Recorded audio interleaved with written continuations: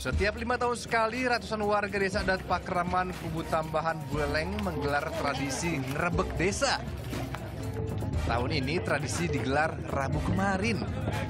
Selalu meriah karena ratusan warga berkeliling desa membawa bambu runcing dan mengarak seekor anak sapi betina. Prosesi pun berakhir di Pantai Pura Segara Desa adat setempat. Tradisi ini jadi upaya desa untuk menangkal bencana. Semuanya menggunakan sapi, jadi sarana sapi. Kenapa sapi? Karena memang menurut eh, tradisi kami, Kubu menggunakan tradisi, itu tradisi siwa.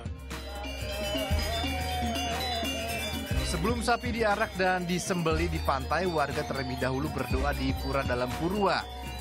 Alunan musik tradisional mengiringi setiap bait doa. Putu Wijana melaporkan untuk NET.